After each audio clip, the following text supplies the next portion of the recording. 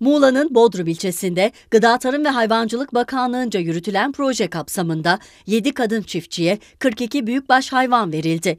Bodrum'un Mumcular Mahallesi'nde düzenlenen dağıtım töreninde genç çiftçilerin desteklenmesi için başlatılan projeye müracaat eden 48 kişiden başvuruya uygun görülen 7 kadın çiftçi hayvanlarını aldı.